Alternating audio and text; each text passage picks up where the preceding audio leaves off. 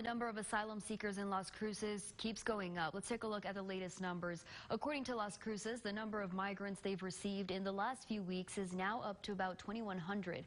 On Wednesday alone, they received 118. The city also says that 189 migrants left the city yesterday, with 90 of those taken to El Calvario and the Annunciation House here in El Paso.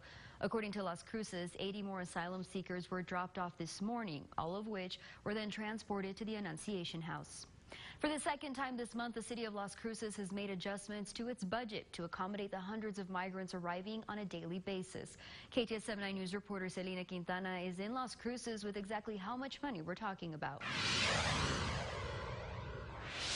That's right. City Council just approved a $500,000 budget that will help aid all expenses when it comes to immigrants and refugee assistance.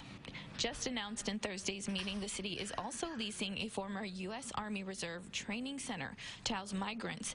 Mayor Miyagishima says this is a step closer to moving forward with long-term plans.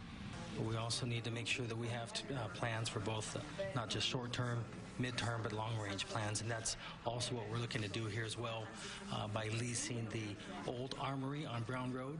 Uh, this is an armory, a facility that's used to housing 150 people. The city says they recognize the large influx of migrants, and this is just one way they're preparing for those numbers to increase. Reporting in the City Hall of Las Cruces, Selena Quintana, KTSM 9 News.